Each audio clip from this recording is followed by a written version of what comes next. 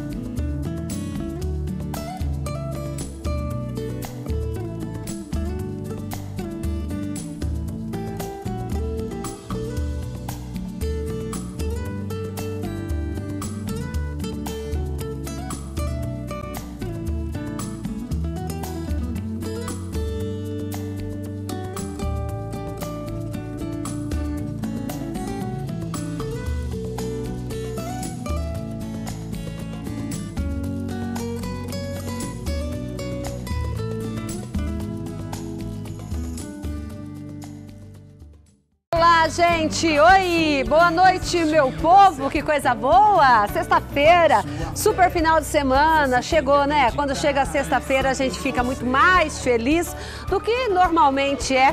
Eu sou ligada no 220. Quando chega na sexta, eu vou dobro, vou para os 440. que bom! Alegria, harmonia, muita paz para a vida de cada um, tá? Que a sua semaninha tá encerrando, né? Tá encerrando uma semana bacana que tenha sido legal para você, que você tenha trabalho. Vou arrumar meu cabelo aqui, gente. Espera aí. Deixa eu arrumar aqui. Ah, isso! Que a semana tenha sido linda para todas vocês, minhas amigas. Sexta-feira, dona de casa trabalha bastante, né? Deve estar tá aí cansadona, cuidou dos afazeres da casa, trabalhou fora, cuidou do marido, dos filhos, mas agora vai se sentar para me assistir programa tá lindo, tá gostoso, tá com mensagem boa, tá com música boa, está com matéria muito boa. Por falar em matéria boa, isso que é bom tem que ser mostrado logo, né? Já vou abrir o programa com o nosso quadro Mostre o seu estilo e pela primeira vez o estilo masculino né? Um lindo rapaz escancarou as portas do seu guarda-roupa para mostrar pra gente o seu estilo, o estilo pro dia a dia, o estilo para ir pra balada, para passear, para trabalhar. Então nós já vamos abrir o programa de hoje mostrando o estilo de quem? Do Joás Estevão. A Islane adorou fazer a matéria, não foi? Ela adora moda, ela adora falar de coisas bonitas, ela adora gente bonita. Foi lá e o Joás ficou muita vontade com ela e abriu as portas do guarda-roupa e aqui está o estilo dele. Marta, olá pessoal de casa. Hoje o quadro Meu Estilo está especial. Convidamos ele, o modelo e advogado Joás Sepúlveda Estevan, para gravar com a gente o quadro. Pela primeira vez, vamos gravar com um homem, né? Acho que os homens estavam pedindo um quadro, um programa especial para eles, né? Até porque a gente só fala de mulher, né? Por que não para os homens? Olá, Joás, tudo bom? Tudo, e você? Tô bem também. Errei bastante o seu nome, né? Ah, um pouquinho só, mas tá certo. Qual é a origem do Sepúlveda? Sepúlveda tem origem espanhol. E o outro? Italiano. Ah, complicado, né? Colocar um sobrenome espanhol e italiano junto, assim, atrapalha na dicção, né? É, uma raça bem teimosa, né? Já deu pra... Mas... É, geralmente eu, tenho eu tive uma certa dificuldade, sempre em escola, o pessoal erra meu nome, desde o Joás, é Joas, é... Só dei as primeiras letras, é João, Aí eu, João Seu, seu Pulveda, tipo. Aí eu falo, ô professor, acho que tá meio errado aí. É que é acostumado. É difícil um pouco na hora da dicção, né? Na hora da pessoa falar, mas escrever, acho que o pessoal escreve certo, né? É, dá uma enroscada no Sepúlveda ali e tal, mas eu vou só letrando, já tô acostumado. A gente se adequa às coisas, né? Eu tô acostumada também, meu nome é bem difícil. Mas, Joás, você é advogado? Sim, sou advogado desde o ano passado, desde 2014, que eu comecei a exercer com a carteirinha, mas eu fui aprovado na ordem ainda quando eu estava na faculdade, em 2013. Foi aprovado cedo, que eu vejo que o pessoal demora bastante para conseguir, alguns anos até tentando, né?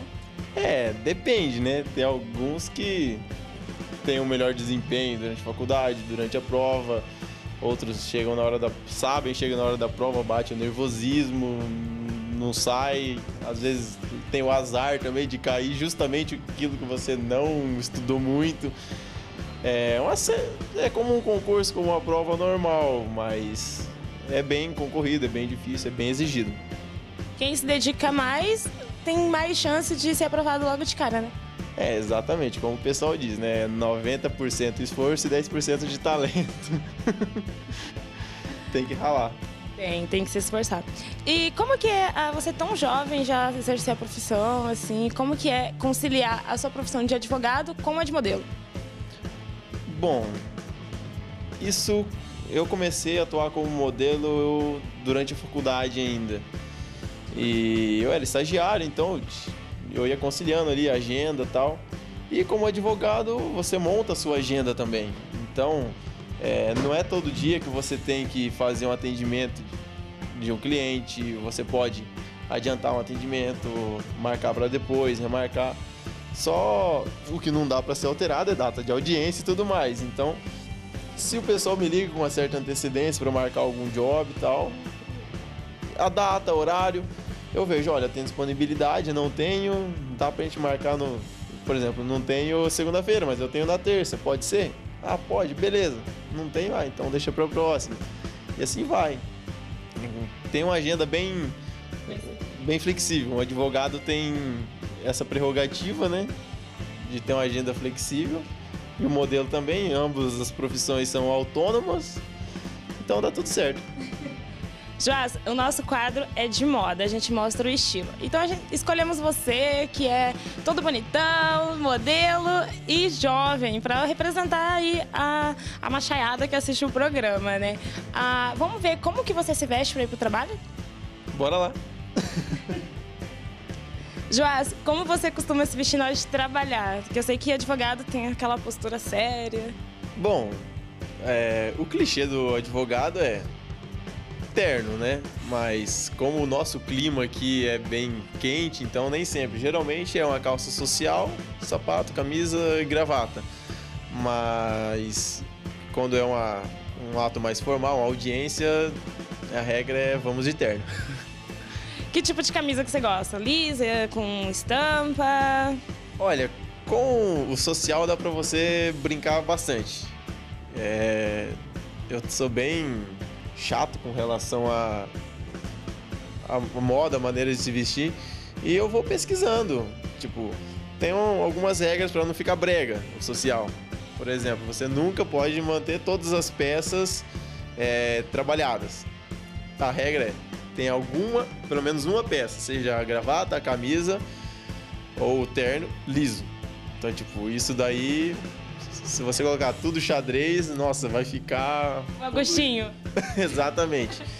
Então, é, por exemplo, você pega uma camisa trabalhada com detalhes, você mantém o terno liso. Eu, particularmente, gosto de ternos lisos. Então, você pode trabalhar com a gravata e a camisa, que é mais simples. E são mais baratos. e. Eu, pro meu estilo de corpo, o terno, eu gosto de terno slim a camisa e gravata é o que você pode brincar à vontade. Do dia, né? Exatamente. Ah, hoje vou branco, azul, preto, xadrez, vermelho. Vamos lá. O que, o que você separou para mostrar pra gente hoje? Bom, não trouxe muita coisa. Eu tenho um guarda-roupa até bem diversificado, mas vamos de básico aqui. Terno preto, uma camisa azul. Acho que uma gravatinha slim vermelha vai ficar legal. É. Derrubando aqui. Ah, pra quem não sabe, o Joás, ele é de Cianorte, então ele não é daqui de Marama, daí pedimos ajuda pra Lucy Lemes pra gente gravar aqui no estúdio dela, ah, né? Até porque o rapaz não é daqui onde a gente ia gravar, né? Vamos lá? Vamos lá.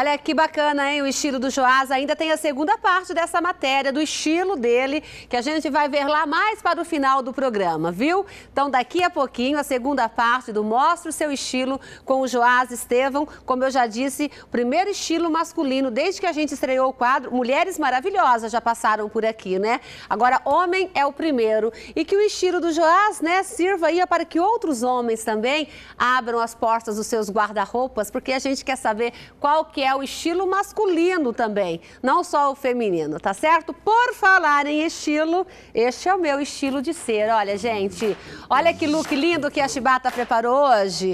Dizem que com essa roupa aqui eu posso até deitar aqui hoje no meu bancão. Porque quando eu tô de vestido eu fico meio limitada, né? Pra me sentar, sei lá, às vezes aparece um pouquinho a mais. Agora, olha isso. Com essa aqui eu posso até virar piruleta aqui. Ó, vou destilar. Ai, carão. Ah, legal, hein? Um beijo ao pessoal lá da Chibata. Muito obrigada. Elas têm um bom gosto danado, né?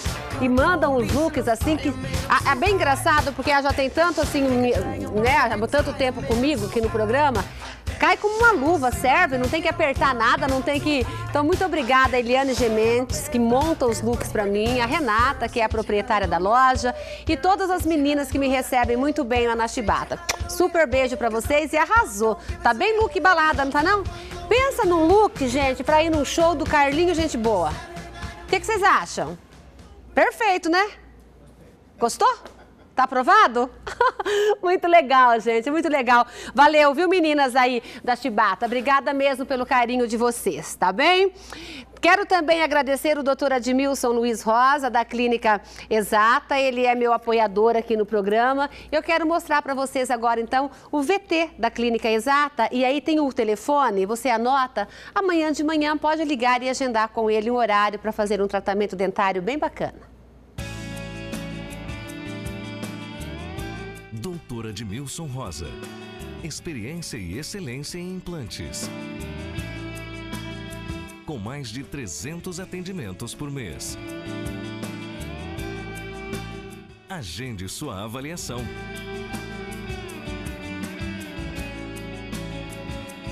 Doutora de Milson Rosa. Implante dentário ao seu alcance. Muito legal. Anotou o telefone? 3624-9559, tá? Gente, além do Mostre o Seu Estilo, que nós já começamos a ver aqui no programa hoje, foi preparado, foram preparadas coisas especiais, inclusive aquela baladinha especial da sexta-feira. Vamos ver o que, que a produção do programa preparou para, este, para esta sexta-feira. Vamos lá, libera aí. Olá, Marta Costa! Hoje é sexta-feira, dia 17 de abril. E já começamos o programa estreando o quadro Meu Estilo Masculino, com o Joá Sepúlveda Estevan. Mas não saia daí, ainda teremos muita música com Carlinho Gente Boa. Tudo isso e muito mais você confere agora no programa Marta Costa, que está apenas começando. Viu só quantas coisas foram preparadas para vocês? Bom, né? Fazer um programa assim pensando no que o outro quer assistir. Eu sempre digo que o slogan da TV UP tem que prevalecer, né? A TV é feita por você. Então a gente mostra coisas que te interessam, que você quer ver, coisas da nossa cidade, da nossa gente, da nossa comunidade. Nós vamos agora contar para vocês as datas comemorativas de hoje e de amanhã, de sexta e de sábado. As datas comemorativas eu sempre achei muito importante. Tem umas bem interessantes interessantes e que valem mesmo a pena serem lembradas aqui no programa.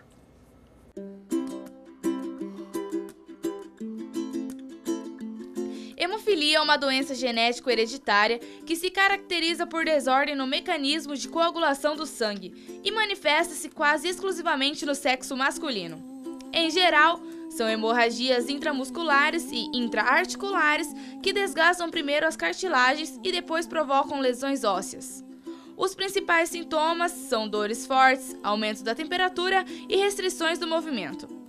O Dia Mundial da Hemofilia, comemorado no dia 17 de abril, foi criado para divulgar melhor a hemofilia e suas implicações para quem sofre da doença, aumentando a conscientização da população em geral, reduzindo preconceitos e facilitando a luta pelos direitos dos hemofólicos. O Dia de Monteiro Lobato, também conhecido como Dia Nacional do Livro Infantil, é celebrado no dia 18 de abril. Monteiro Lobato foi um dos maiores escritores brasileiros do século. Foi o precursor da literatura infantil no Brasil e criador dos livros infantis Sítio do Pica-Pau Amarelo, composta por mais de 30 obras.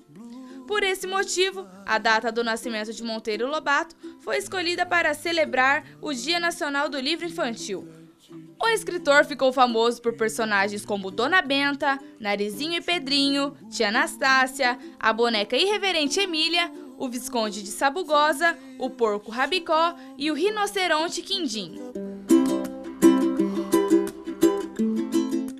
Tá certo, gente? Tudo isso e o programa tá só começando, hein? Tudo isso e o programa tá só começando. Eu vou pro intervalinho e volto muito rápido. Constelação não é